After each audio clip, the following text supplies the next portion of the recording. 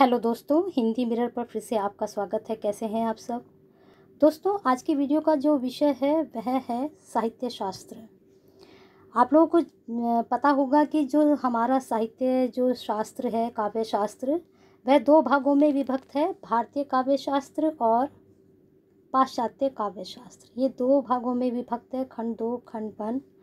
ठीक है, लेकिन आप जो हम प्रश्न लेकर आए हैं आपके लिए, वो हमने सब लिए हैं, भारतीय काव्य सिद्धांत से, जिसमें आप अलंकार, ध्वनि, औचित्य, इन सब के बारे में प्रश्नों को पढ़ेंगे, रीति, वक्रोक्ति, इन सभी टॉपिक से हमने प्रश्न उठाए हैं।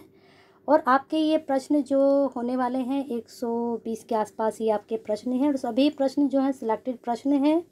वीडियो को पूरी ज़रूर देखना, क्योंकि जो प्रश्न लिए गए हैं, सभी इम्पोर्टेंट हैं, और आपकी आगामी परीक्षा के लिए बहुत ही महत्वपूर्ण होने वाले हैं। और ये जो पाश्चात्य काव्य सिद्धांत है, इसकी वीडियो हम कल देंगे आपको, जिसमें प्रश्न रहेंगे, वो भी सिलेक्टेड ही रहेंगे तो आपको वीडियो अगर पसंद आती है तो ज़्यादा से ज़्यादा लाइक एंड शेयर कीजिए। जो दोस्त आज चैनल पर नए हैं, वो ज़रूर चैनल को सब्सक्राइब कर लें, जिससे नए वीडियो के उनको नोटिफिकेशन मिलते रहें। चलिए शुरू करते हैं आज का प्रश्न। काव्य प्रकाश की रचयिता कौन है? तो सीधे सीधे उत्तर बताएँगे, क्योंकि प्रश्न बहुत ज़्यादा होते हैं तो जिससे आपको जो है परेशानी ना हो टाइम की भी और हमें भी। दूसरी बात ये है कि प्रश्न में थोड़ा सा मैं आपको गैप ही देती हूँ। आज थोड़ा सा हमसे कुछ स्टूडेंट बोल रहे थे कि मैडम सीधा सीधा उत्तर हो जाता है तो हम लोग नहीं कर पाते हैं। तो आपको थोड़ा टाइम मिलेगा सोचने का कि आप जो है प्रश्न को सोच लीजिए कौन सा उत्तर बैठेगा। तो काव्य प्रकाश के रचयिता कौन है? देख लीजिए इनमें चारों में ए बी सी डी में कौन इस, कौन से हैं काव्य प्रकाश के रचयिता। तो आपकी जानकारी के लिए बता दें, बी, मम्मट काव्य प्रकाश के रचयिता हैं। चलिए अगले प्रश्न पे चलते हैं। इनमें से ध्वनिवादी आचार्य कौन सा है? तो ध्वनिवादी के बारे में बताना है, ध्वनिवादी आचार्य कौन है? तो दूसरे का आपका उत्तर हो जाएगा आनंद वर्धन, ध्वनिवादी आचार्य हैं। चलिए अगला प्रश्न है, वक्रोक्ति सिद्धांत के प्रवर्तक हैं। वक्रोक्ति सिद्धांत के, जल्दी बताइए वक्रोक्ति सिद्धांत के प्रवर्तक कौन है? सोच लिया होगा आपने। कुंतक जी हैं? चलिए अगले प्रश्न पे चलते हैं।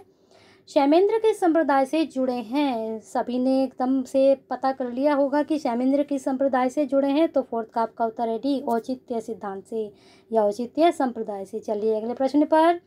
रस सूत्र किस आचार्य की देन है? इसमें बताना है कि जो रस सूत्र दिया है, वो किस आचार्य ने दिया है? तो पांचवे का आपका उत्तर हो जाएगा सी, भरत मुनि जी ने रस सूत्र दिया है। चलिए अगले प्रश्न पे चलते हैं। साहित्य दर्पण के रचयिता आचार्य हैं। साहित्य दर्पण जो है, उसके रचयिता कौन है?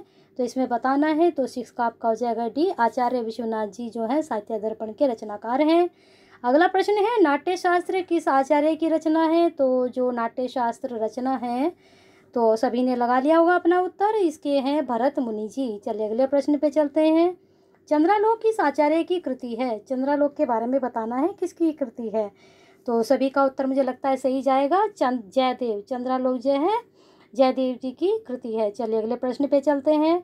शब्दार्थों सही तो काव्य में, काव्य की यह परिभाषा किसने दी है? बहुत अच्छे ये प्रश्न है, इसको ज़रूर नोट डाउन करें। वेरी इंपॉर्टेंट प्रश्न है, ये पंक्ति ज़रूर आती है।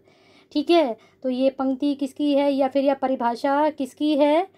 ये पंक्ति के रूप में भी आ जाता है और परिभाषा के रूप में भी आते हैं। यह किसने कहा है? इस तरह से भी आ जाता है और परिभाषा तो ये है ये। तो नाइन का आपका उत्तर हो जाएगा सी। भामा जी ने कहा है, या भामा जी की परिभाषा है। चलिए अगले प्रश्न पे चलते हैं। रीति संप्रदाय के प्रवर्तक आचार्य कौन है? तो दसवें का आपका उत्तर हो जाएगा वामन। ठीक है, रीति संप्रदाय के वामन जी हैं। चलिए अगले प्रश्न पर चलते हैं। काव्य अलंकार किस आचार्य की कृति है? काव्य अलंकार। ठीक है, ग्यारहवें का आपका हो जाएगा सी। भामा जी, काव्य अलंकार के आचार्य हैं, या इनके द्वारा यह रचित है?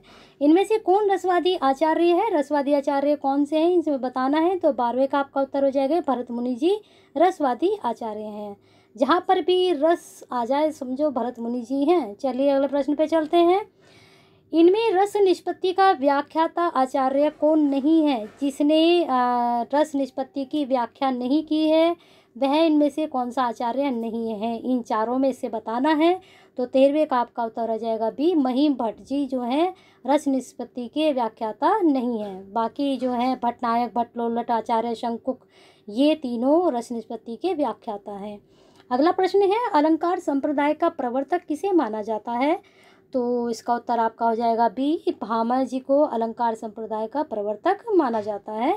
अगला प्रश्न है, शरीर तावा दृष्टाय दार्था, व्यय बच्छिन्हा पदावली, काव्य की परिभाषा किसने आचार्य ने दी है? कौन से आचार्य ने दी है ये वाली काव्य की परिभाषा?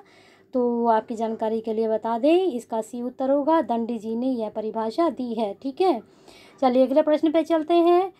तद दोषो शब्दार्थो सगुणा वन अलंकृति पुनः वापी काव्य की यह परिभाषा किस आचार्य ने दी है तो आपका उत्तर आपने लगा लिया होगा। कौन सा उत्तर है? तो इसमें आपका उत्तर हो जाएगा मम्मट, ठीक है? इतना वक्त आपको मिल जाता है और जिनको प्रश्नों के उत्तर आते हैं, वो प्रश्न को देखते ही समझ जाते हैं कि इस प्रश्न का उत्तर ये होगा, ठीक है? और जो है, आप जो है तुक्का तो लगाते हैं कि ये हो सकता है, ये भी हो सकता है, ये भी हो सकता है, जिनको नहीं आते हैं तो किसी किसी के तुक्के भी बिल्कुल सही बैठते हैं और तुक्के लगाते लगाते वो प्रश्न ज्ञात हो जाते हैं स्टूडेंट को। तो आपका इसका उत्तर मम्मट हो गया। चलिए अगले प्रश्न पे चलते हैं। रमणीय अर्थ है प्रतिपादक है, शब्द है काव्य में काव्य की परिभाषा किसने दी है? तो सत्रह का आपका उत्तर सभी का सही होगा। पंडित जगन्नाथ जी ने दी है। बहुत अच्छी है ये परिभाषा इनकी और यह परिभाषा आती है एग्ज़ाम में ज़रूर, ठीक है? चलिए अगले प्रश्न पे चलते हैं। रीति रात्मक आवश्य है या कथन किस आचार्य का है। तो अट्ठारह का आपका हो जाएगा बी, वामन जी का है। रीति, जहाँ पर रीति, वहाँ वामन जी। ठीक है, जहाँ रस, वहाँ कौन? बताइए। चलिए अगले प्रश्न पर।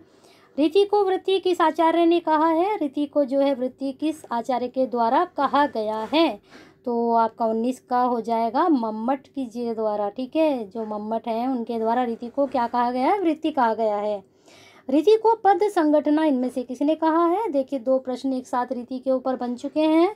तो बीस का आपका उत्तर हो जाएगा सी, आनंद वर्धन के द्वारा पद संगठना कहा गया किसको? रीति को। और जो है मम्मट जी के द्वारा रीति को क्या कहा गया है? वृत्ति कहा गया है, ठीक है? दोनों प्रश्न वेरी इंपॉर्टेंट ज़रूर नोट डाउन करें। रसध्वनि को काव्य की आत्मा माना है तो रसध्वनि को काव्य की आत्मा माना है। अभिनव गुप्त जी ने, ठीक है? ये प्रश्न भी बहुत इंपॉर्टेंट है, इसको भी नोट डाउन करें। वैसे तो मैंने आपको शुरू में ही कहा था कि जितने भी मैंने प्रश्न लिए हैं, वो सारे ही इम्पोर्टेंट है, क्योंकि मैं फालतू प्रश्नों को हटा ही देती हूँ, जो इम्पोर्टेंट होता है उन्हीं को मैं आपके लिए लेकर आती हूँ। चलिए अगला प्रश्न, क्योंकि हमें यहाँ टाइम पास नहीं करना कि एक दो, एक घंटे की वीडियो बना दी, दो घंटे की बना दी, और मैंने आपको एक हज़ार प्रश्न दे दिए हैं, आप एक हज़ार, क्योंकि आप लोगों को भी मालूम है कि एक हज़ार प्रश्न नहीं आते हैं आपके। लेकिन फिर भी एक हज़ार प्रश्न जहाँ दिए जाते हैं, वहाँ पर आपको ज्ञान तो हो ही जाता है और अदर प्रश्नों का। लेकिन मेरी कोशिश रहती है कि मैं वही प्रश्न सिलेक्टेड प्रश्न लेकर आऊँ। मैं डालती भी हूँ अपने कंटेंट में कि भाई एक्सेप्ट जो आपके प्रश्न हैं, सारे जो हैं एक्सपेक्टेड ही प्रश्न हैं तो मुझे ये रहता है कि इनमें से आएँगे ज़रूर। चलिए देखते हैं अगला प्रश्न विशिष्ट पद रचना रीति किस आचार्य का कथन है तो बाईस का आपका उत्तर हो जाएगा डी। वामन जी का है, ठीक है? विशिष्ट पद रचना रीति, ठीक है? चलिए अगला प्रश्न है। शैशव सर्वत्र है वक्रोक्ति, यह किस आचार्य का कथन है तो बताना है इसमें तो ट्वेंटी थ्री का आपका उत्तर हो जाएगा ए। रीति दंड ट्वेंटी, सॉरी, ये ट्वेंटी फोर का हमने लगा दिया है, ट्वेंटी थ्री का हो जाएगा भामा जी, ठीक है? तो अगला प्रश्न देख लीजिए। दंडी किस संप्रदाय के आचार्य हैं तो ट्वेंटी फोर का देख लीजिए। दंडी किस संप्रदाय के आचार्य हैं तो ट्वेंटी फोर का आपका उत्तर हो जाएगा बी, अलंकार। ठीक है, चलिए अगले प्रश्न पे चलते हैं। आचार्य जयदेव किस संप्रदाय के समर्थक आचार्य हैं? तो ट्वेंटी फाइव का आपका उत्तर हो जाएगा डी, अलंकार के समर्थक थे वो। ठीक है, कौन? आचार्य जयदेव। चलिए अगले प्रश्न पर। काव्य से आत्मा, काव्य से आत्मा काव्य आत्मा ध्वनि रीति किस आचार्य का कथन है। तो जहाँ पर ध्वनि है तो सीधे सीधे आप कुछ नहीं सोचेंगे। आनंद वर्धन जी को आप टिक कर देंगे। तो ये उनके द्वारा कहा गया कथन है। वाक्य रसात्मक काव्य में यह कथन किस आचार्य का है। तो बताइए, ये भी बहुत इम्पोर्टेंट है आपका। जैसे ऊपर मैंने बताया था जगन्नाथ जी का तो यहाँ भी बहुत इम्पोर्टेंट है ये। तो ट्वेंटी सेवन का हो जाएगा। आचार्य विश्वनाथ और पंडित जगन्नाथ जी को आप ज़रूर देख लेना। इनके जो कथन है, दोनों बहुत ज़्यादा आते हैं। ये मोस्टली रिपीट होते ही होते हैं। रमणीय अर्थ है प्रतिपादक है शब्द काव्य में यह कथन किसका है? तो आपका ये उत्तर हो जाएगा डी, पंडित जगन्नाथ जी। ये पंड आचार्य विश्वनाथ जी, पंडित जगन्नाथ जी, दोनों के कथन आप ज़रूर देखना। फिर अगला प्रश्न है, रसगंगाधर किसकी कृति है? तो ट्वेंटी नाइन का आपका उत्तर हो जाएगा बी, पंडित जगन्नाथ जी की दो प्रश्न। पंडित जगन्नाथ जी के बारे में दो चीज़ें आपको पता चल गई। एक तो उनका कथन और एक उनकी जो कृति है, बहुत ही प्रमुख ये प्रसिद्ध कृति है, ठीक है? इनमें से कौन सा तत्व काव्य हेतु नहीं है? आपको पता है काव्य हेतु कौन कौन से होते हैं, लेकिन यहाँ हमने बताना है तीन में तीन है, लेकिन एक नहीं है, वो कौन सा नहीं है? तो तीस का आपका उत्तर हो जाएगा डी, अलंकार जो है काव्य हेतु नहीं, बाकी अभ्यास, प्रतिभा, व्युत्पत्ति, ये सब काव्य हेतु और कौन कौन से काव्य हेतु हैं, ये आप बताएँगे कमेंट बॉक्स में। आचार्य दंडी ने मूल काव्य हेतु माना है, किसको माना है? जो काव्य हेतु है, वो कौन सा है, मुख्य या मूल? तो थर्टी वन का आपका हो जाएगा बी, अभ्यास। किसके अनुसार? दंडी जी के अनुसार। सभी ने काव्य हेतु अलग अलग माने हैं तो ये दंडी जी के अनुसार सबसे मूल जो है, काव्य हेतु अभ्यास है, ठीक है? अब प्रतिभा को शक्ति कहा है? किसने कहा है? तो थर्टी टू का आपका हो जाएगा बी, मम्मट ने। ठीक है, शक्ति को इन्होंने माना है, प्रतिभा को, ठीक है? वह कौन सा काव्य हेतु है जिसके अभाव में काव्य रचना संभव नहीं है? तो आपका ये उत्तर हो जाएगा, ए, प्रतिभा के बिना आप जो है काव्य की रचना नहीं कर सकते हैं। और प्रतिभा को किसने माना है? मम्मट जी ने, ठीक है? तो मम्मट जी का मानना है कि अगर आप में प्रतिभा नहीं है तो आप काव्य की रचना नहीं कर सकते हैं, ठीक है? आचार्य मम्मट ने कितने काव्य प्रयोजन बताए हैं? मम्मट जी के ये प्रश्न आ गया है अगला तो थर्टी फोर का आपका उत्तर हो जाएगा सी, छः। उन्होंने काव्य प्रयोजन कितने बताए हैं? छः। सकल मौलीभूत प्रयोजन कौन सा है? इसमें एक आपको पता चल गया कि एक सकल मौलीभूत प्रयोजन भी है। तो थर्टी फाइव का आपका उत्तर हो जाएगा सी, संध्या परिनिवृत्त ठीक है? सफल मौलिक भूत प्रयोजन यह है। रस में निष्पत्ति की व्याख्या भुक्ति के रूप में किसने की? रस सूत्र में निष्पत्ति की व्याख्या भुक्ति के रूप में। अभी हम ऊपर पढ़ कर आ रहे थे कि रस निष्पत्ति की व्याख्याता कौन कौन है, उसमें आपको हमने तीन के नाम बताए थे, ठीक है?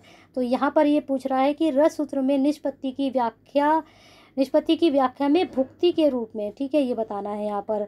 थर्टी सिक्स का आपका उत्तर हो जाएगा बी। भट्ट नायक ने भुक्ति के रूप में की। दोस्तों, ये प्रश्न थोड़ा हमें टिपिकल लगते हैं। अगर आप इनको ध्यान से बिल्कुल जैसे हम कोई क्या कहते हैं कि व्याकरण के, उसके मैथ के क्वेश्चंस को बड़े ध्यान से समझते हैं तो इस तरह का कोई फार्मूला इनका होता है तो वो आप ध्यान से अगर सुनोगे, वहाँ पर देखो आप कड़ियाँ जोड़िए इन प्रश्नों में। जब तक आप इनको जोड़ के नहीं चलोगे ना प्रश्नों को, तब तक आप इनके उत्तर नहीं कर पाएँगे। अलग अलग आप अगर इनको याद करते हैं तो नहीं हो पाएगा। आप सिर्फ़ भट्ट लोलट ये जो भट्ट नायक जी हैं अब ये व्याख्याताकार भी हैं। साथ में अब हमने इनका क्या पढ़ लिया है कि जो है इन्होंने कहा गया ये प्रश्न। यहाँ पर है ये रहा कि रस सूत्र में निष्पत्ति की व्याख्या भुक्ति के रूप में। तो दो चीज़ें आपको पता चल गई, ये व्याख्याताकार भी हैं और भटनायक ने भुक्ति के बारे में बोला, ठीक है? साधारीकरण सिद्धांत का उल्लेख सर्वप्रथम किस आचार्य ने किया? साधारीकरण का सिद्धांत का उल्लेख तो किसने किया था? तो थर्टी सेवन का आपका हो जाएगा ए साधारीकरण का और किसने किया? ये आपको पता है तो बताइए। ध्वनियालोक के रचयिता हैं तो थर्टी एट का आपका उत्तर हो जाएगा ए आनंद वर्धन ये प्रश्न दोबारा आ चुका है। ध्वनियालोक लोचन के रचयिता, ठीक है? अब यहाँ पर आ गया लोचन।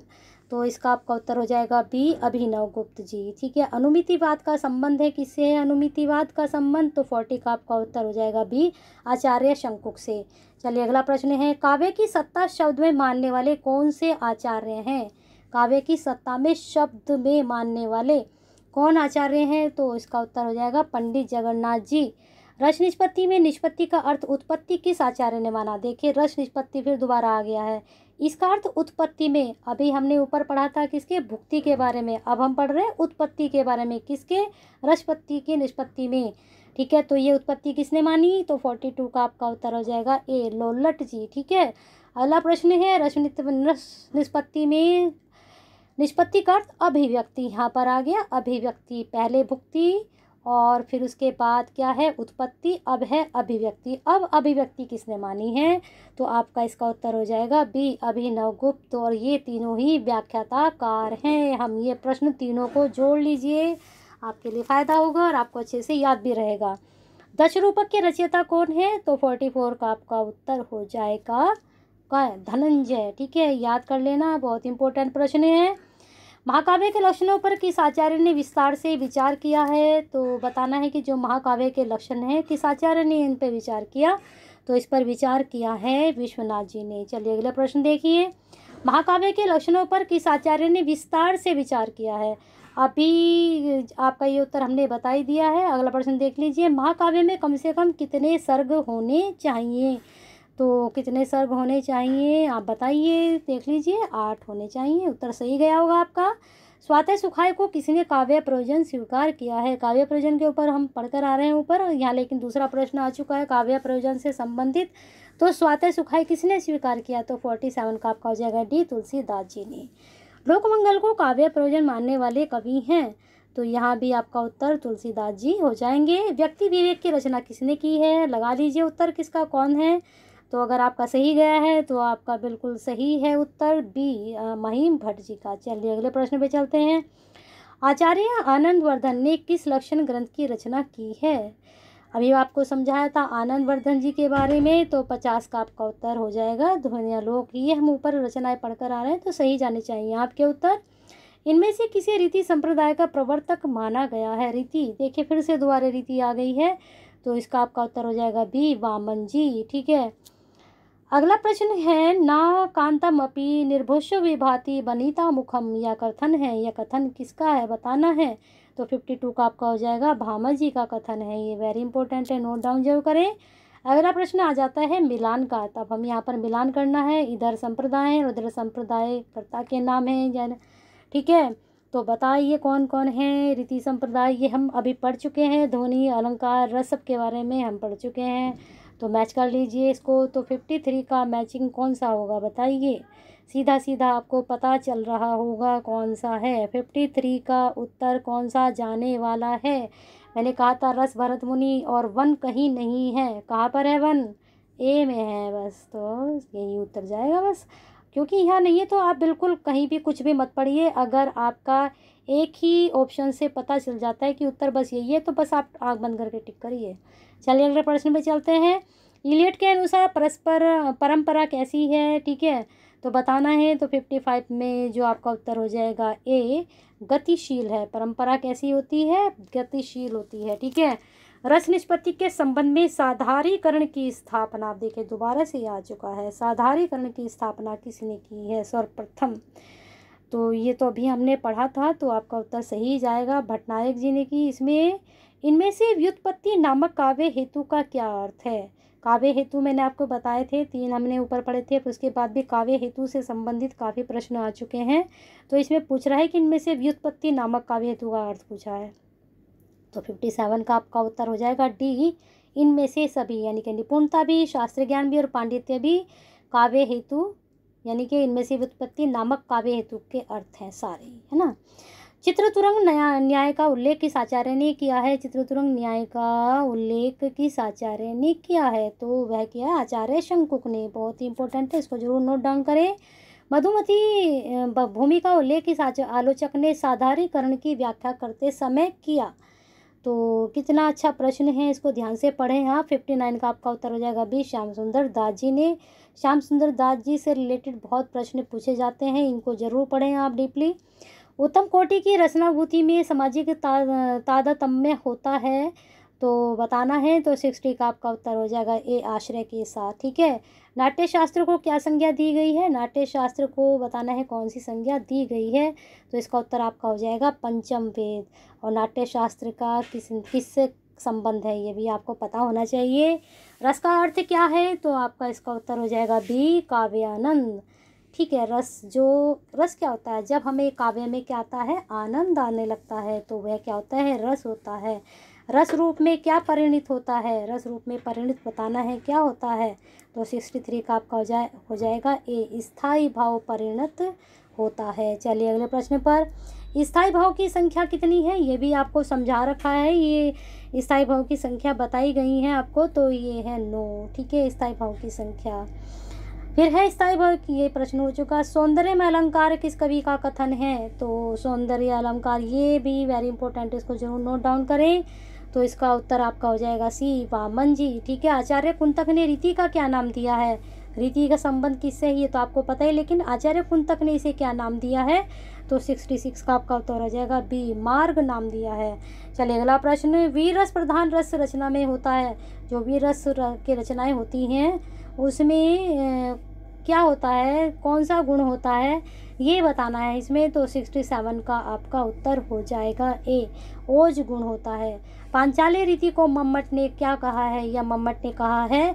क्या कहा है? सिक्सटी एट का आपका उत्तर हो जाएगा ए उपनागरिका वृत्ति कहा है। किसको? पांचाली रीति को। चलिए अगले प्रश्न पे चलते हैं।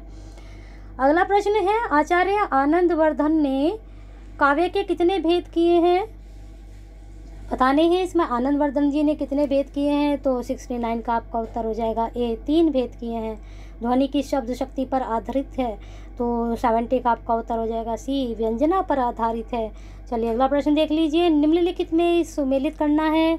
इधर जो है आपके वाद हैं, भक्तिवाद आरोपाद नृत्यवाद यहाँ पर और यहाँ पर इनके आचार्य के नाम है तो बताने हैं किससे कौन मैच करेगा। तो सेवेंटी वन का आपका ए हो जाएगा तीन चार दो एक इसको आप मैच कर लेना और इसको फिर कॉपी में नोट डाउन भी कर लेना। फिर अगला भी मिलान का ही है, इधर रस हैं और इधर स्थायी भाव हैं तो बताने हैं।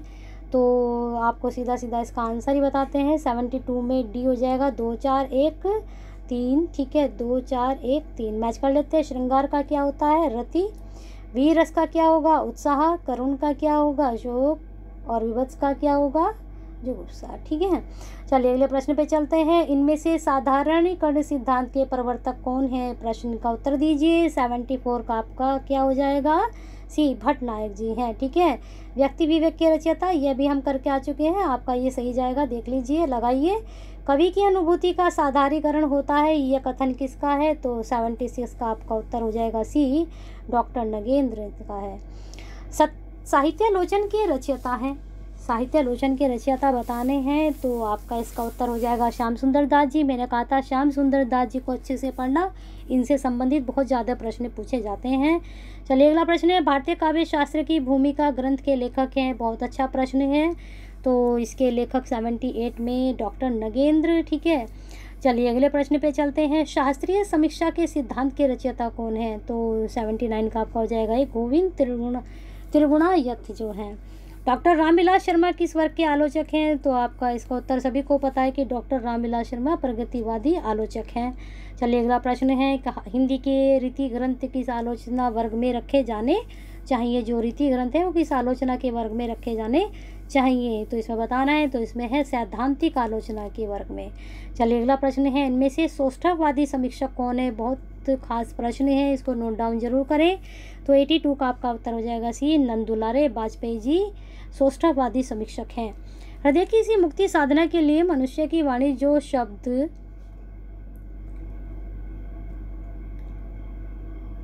जो शब्द करती आई है, उसे कविता कहते हैं। यह परिभाषा किसकी है? तो इसमें परिभाषा बताना है तो एटी थ्री का आपका उत्तर हो जाएगा डी रामचंद्र शुक्ल जी की। चलिए अगले प्रश्न पे चलते हैं। हिंदी साहित्य बीसवीं सती नामक समीक्षा कृति के रचयिता हैं। बहुत इंपॉर्टेंट प्रश्न है, ज़रूर नोट डाउन करना। ये वाली जो है समीक्षा पूछी ज़रूर जाती है। तो 84 का आपका उत्तर हो जाएगा सी नंदुलारे वाजपेयी। ये भी उन्हीं की है। इनमें से कौन सी कृति राम विलास शर्मा जी की नहीं है? तो इसमें बताना है कौन सी नहीं है। तो आपकी जानकारी के लिए बता दें कि रस मीमांसा उनकी नहीं है। निराला की सात्य साधना, भाषा और समाज भारतीय सौंदर्य शास्त्र और तुलसीदास, ये तीनों उनकी रचनाएँ हैं। रस मीमांसा किसकी है? पता होगा सबको, है ना? अगर नहीं पता तो बता देते हैं रामचंद्र शुक्ल जी की। इनमें से संचारी भाव कौन सा नहीं है, उसके बारे में बताना है। तो एटी सिक्स का जो आपका डी है, जुगुप्सा जो है, क्या है? संचारी भाव नहीं है यह भी आप ऊपर पढ़कर आ रहे हो, ये स्थायी भाव है। यह हमें किसका स्थायी भाव है? ये भी आपको हमने ऊपर बताया था, कौन से रस का स्थायी भाव है। ठीक है, अब यहाँ पर मिलान करना है। यहाँ पर देखिए, ये क्रोध किससे मिलाना है? ये सब देखना है, क्रोध क्या है? स्थायी भाव है, संचारी भाव, अनुभाव है आलम्बनी भाव है? अविद्या क्या है? वैवर्ण्य क्या है? शकुंतला क्या है? तो एटी सेवन का आपका उत्तर हो जाएगा ए। तो मैच करते हैं। क्रोध क्या है? स्थायी भाव है। अभिता क्या है? संचारी भाव है। वैवर्ण्य क्या है? अनुभाव है। और शकुंतला क्या है? आलंबन भी भाव है। चलिए, अगला प्रश्न बहुत अच्छा प्रश्न था, ज़रूर नोट डाउन कर ले। अभिव्यक्तिवाद के प्रतिपादक आचार्य हैं। अभिव्यक्तिवाद कई बार आ चुका है, सबने सही लगाया होगा। अभिनव गुप्त जी, इनके नाम से भी मैच करता है ये। आचार्य रामचंद्र शुक्ल किसका साधारीकरण मानते हैं? बहुत अच्छा प्रश्न है ये वाला भी। तो एटी नाइन में जो रामचंद्र शुक्ल जी मानते हैं साधारीकरण, वह आपका उत्तर हो जाएगा बी आलंबन धर्म का, ठीक है?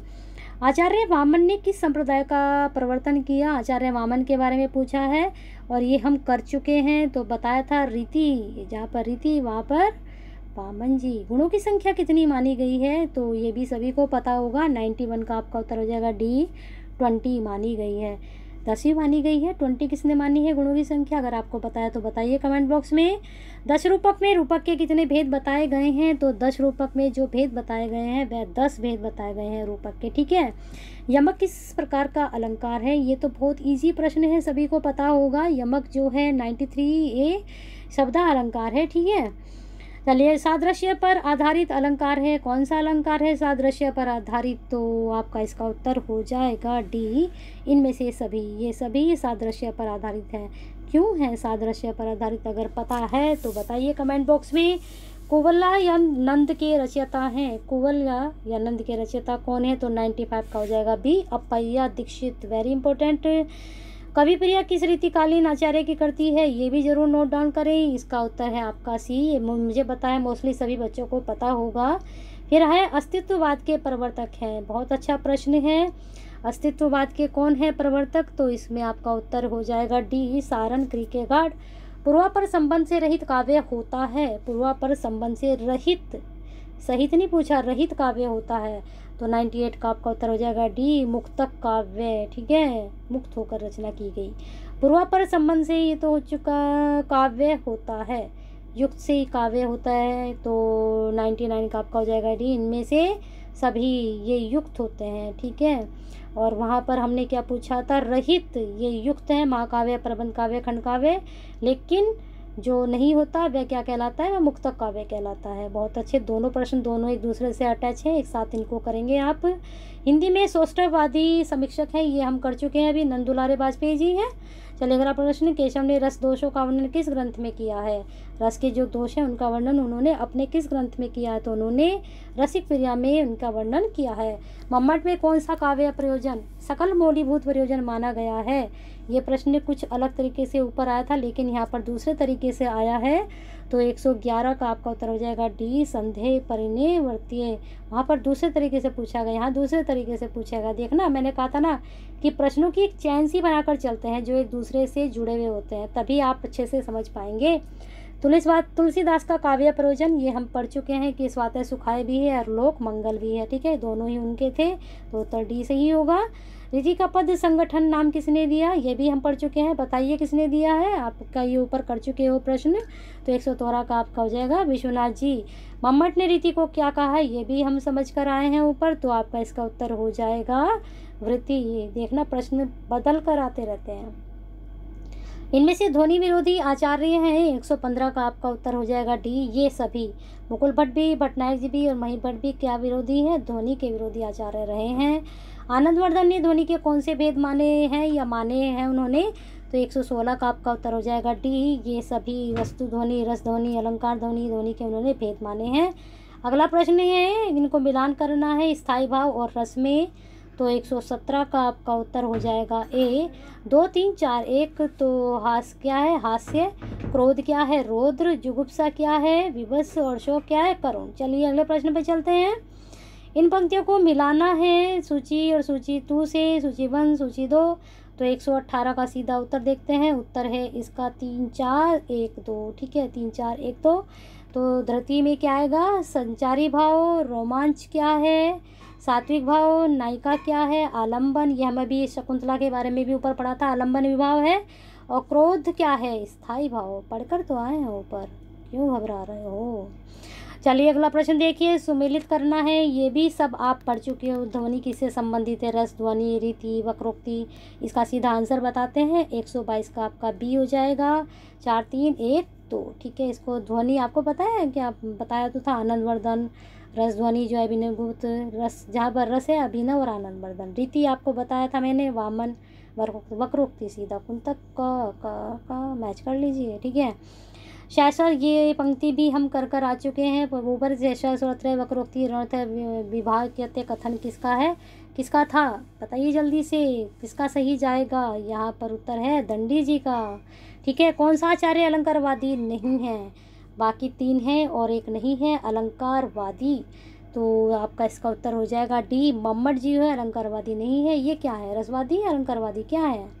अनु अन अलंकृति पुनः क्वापी का तात्पर्य क्या है? देखिए, ऊपर तो हमने जाना था किसका कथन है किसकी परिभाषा है, लेकिन यहाँ पर क्या पूछ रहा है तात्पर्य? देखिए कि प्रश्न दो तरीके से पूछ लिया गया है तो आपका इसका उत्तर हो जाएगा, अलंकार काव्य का अनिवार्य तत्व नहीं है। चलिए, अगला प्रश्न, अनु अन अलंकृति पुनः क्वापी का तात्पर्य हो चुका है, ये यहाँ पर मिलान करना है। तो इधर जो है सिद्धांत है, इधर प्रवर्तक हैं तो 126 का आपका उत्तर क्या होगा? जल्दी से बताइए। ए हो जाएगा चार, एक, दो, तीन। औचित्य किसका है? श्यामेंद्र का। गुण किसका है? वामन, ध्वनि किससे है? आनंद वर्धन। रस किसका भरत मुनि। बहुत आसान था। प्रज्ञा नवन अवमनेश भाषालिनी प्रतिभा सतमता। यह कथन किसका है? तो एक सौ अट्ठाईस का आपका उत्तर हो जाएगा आचार्य भट्ट का। प्रतिभा को काव्य का प्रधान हेतु माना है। ये हम पढ़कर आए हैं, लेकिन दूसरे तरीके से आपके प्रतिभा सामने आई थी। तो 120 का आपका उत्तर हो जाएगा बी, दंडी जी ने। प्रतिभा को शक्ति नाम दिया है, ये भी पढ़ा है, लेकिन वही प्रश्न दोबारा से बदल कर दे दिया गया है तो 130 का आपका उत्तर हो जाएगा सी, मम्मट ने।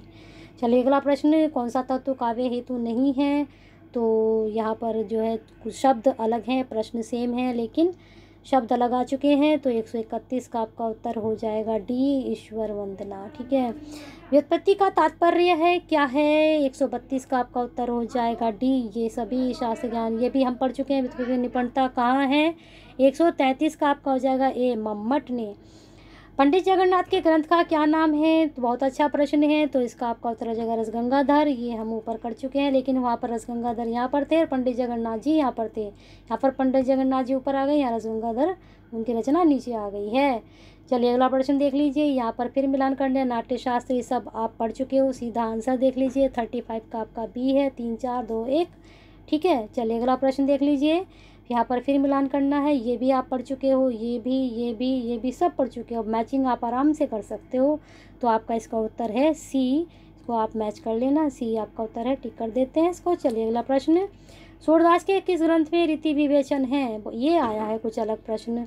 तो 138 का आपका उत्तर क्या हो जाएगा? सी। साहित्य लहरी में उन्होंने रीति विवेचन किया है। आलोचक में कौन सा गुण अपेक्षित है? कौन सा गुण अपेक्षित है? तो इसका आपका उत्तर हो जाएगा वन थ्री नाइन का डी। ये सभी जो गुण हैं, अपेक्षित होते हैं। छायावाद के समर्थक आलोचक कौन है? यानी कि उनके समर्थन में आलोचना की है किसने? तो की है नंदुलारे वाजपेयी। इसके प्रमुख समर्थक आलोचक रहे हैं। काव्य गुणों की संख्या मानी गई है। एक सौ इकतालीस का आपका हो जाएगा बी। बीस, ये ऊपर पढ़ाया अभी आपने।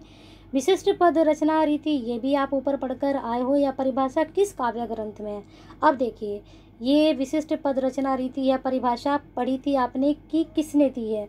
लेकिन यहाँ पर प्रश्न क्या पूछ रहा है कि किस काव्य ग्रंथ में है? तो 142 का आपका हो जाएगा बी काव्य अलंकार सूत्रवृत्ति में।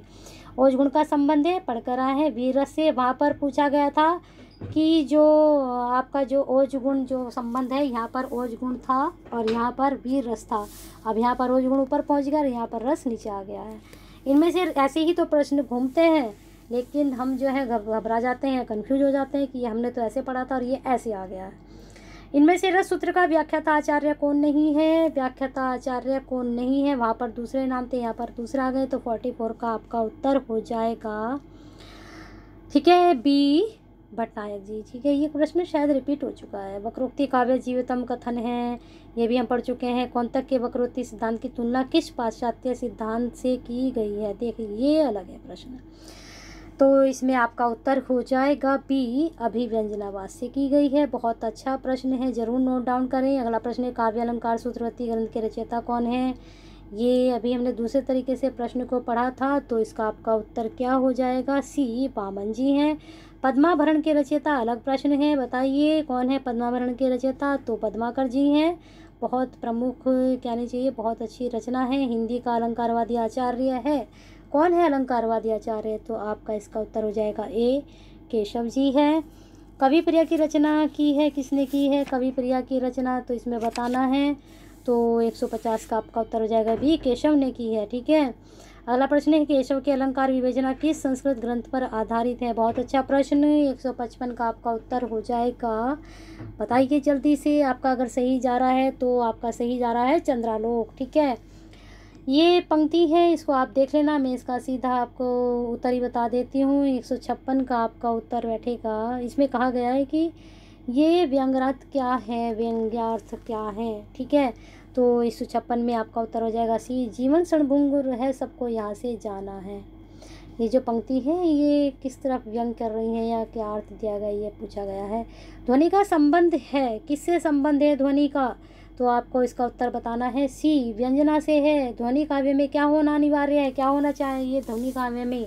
तो आपका इसका उत्तर हो जाएगा वन फिफ्टी एट का। सी, व्यंगार्थ या वाच्यार्थ से सुंदर होना।